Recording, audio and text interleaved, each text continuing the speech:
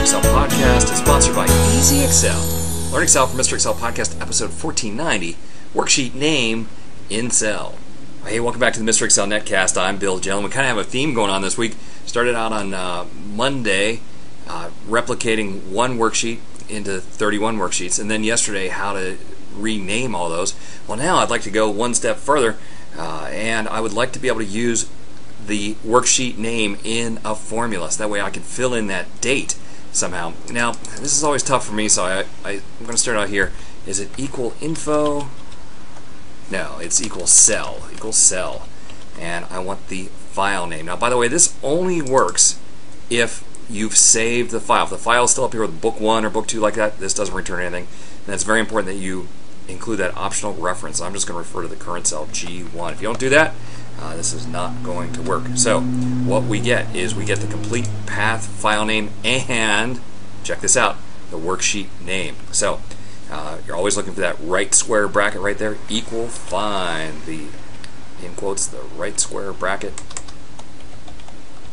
of that value, and that says that uh, the first 43 characters are not the sheet name, everything after that is the sheet name. Now in this particular case, I just want to use that one. So uh, I'm going to say that I want to go one, two, three, four, five characters over from there. So I'm going to add plus 5.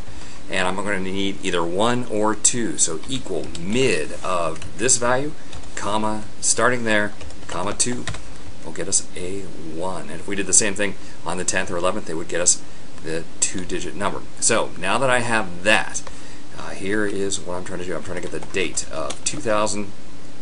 It's 2011. Huh, I had to think about that. 12, comma, that day, and I'm betting, I'm betting that I, am going to have to say plus zero to convert this text up here into a number.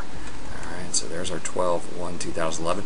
Beautiful thing is that as we copy this to day 2, day 3, day 4, it will automatically update. So we are using this cool cell function to get the complete path and file name. Don't care about that, but the worksheet name. Then using or find to figure out where the uh, worksheet name starts, then using mid to get just the piece of the worksheet name that we want, and then finally using that all in a formula. Now, it is not necessary to include all four steps here. We can do this all in one big step. So I take uh, the G3, I go up F2 to put it in edit mode, and then copy everything except for the equal sign, and select G3 here, and paste Control V. Alright, so now I need to go get G2. G2 is all of this except for the equal sign. And right here, select the characters G2, Control V to paste. Now I have G1 left and I have it in two different places. Alright, good enough. Go up here and choose this formula except for the equal sign. And let's see, first here, G1, Control V. And here,